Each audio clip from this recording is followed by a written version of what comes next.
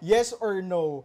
Dance on your own, like no one's Oh watching my you. God, yes na yes. Always. Always, almost every day. When Dancing you were following Miss Lovey po on Instagram, you, Yes. for sure nakita nyo na yun, di ba? I know, no, yung walang, no one's watching talaga. As in like, when I'm alone in my room, yung dogs ko, na, sila lang nakaka-witness na how crazy I am on my own. I'm such an introvert, I can entertain myself alone. Yan, isa yan sa mga ginawa ko buong pandemic, dance on my own. Next, eto, namasyal or pumunta sa park, nag-shopping alone. Yes. Do you love going out alone? Alone, yeah. I love my alone time.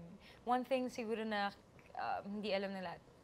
Weirdly, of course, I get to converse and I'm an, I'm very shy and I'm an introvert. I like spending time alone. I love traveling alone. Ganyan. Mm-mm. It's my thing. And it's power, no? Yung, like yung kaya mong lumabas, kumain mag-isa. Kumain mag-isa. Favorite ko yan. Sobrang weird pa. Kasi, um, yun nga, pagka kunyari nag-travel ako, tapos may event, sabi, pupunta talaga ako sa isang restaurant, I'm gonna get myself a drink, kakain ako, tapos manonood lang ako ng tao. Tapos, nandun lang ako, tapos habang yung mga tao, ginajudge ako, ba't kaya siya mag-isa? Joke lang. Oo, kasi Hindi. syempre, lovey po mag-isa, no? Ganon.